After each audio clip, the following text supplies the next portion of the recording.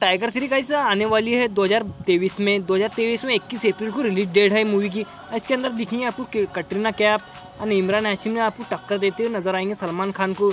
ये मूवी एकदम बॉल करने वाली है। कमाई के आखिर एकदम पार कर दी मूवी एकदम रिकॉर्ड की रिकॉर्ड बना डालेंगे। अपना एक, एक अलग ही रिकॉर्ड बनाई डालेंगे। ये मूवी एकदम हिंदी वर्जन में कम से कम किटीज बता रहे इस मूवी को कम से कम पचपन से साठ करोड़ की पहले दिन की हिंदी वर्जन की मिलने वाला पूरा वर्ल्ड वाइड एक सौ दस करोड़ में एक सौ सौ करोड़ मिलने वाला कम से कम।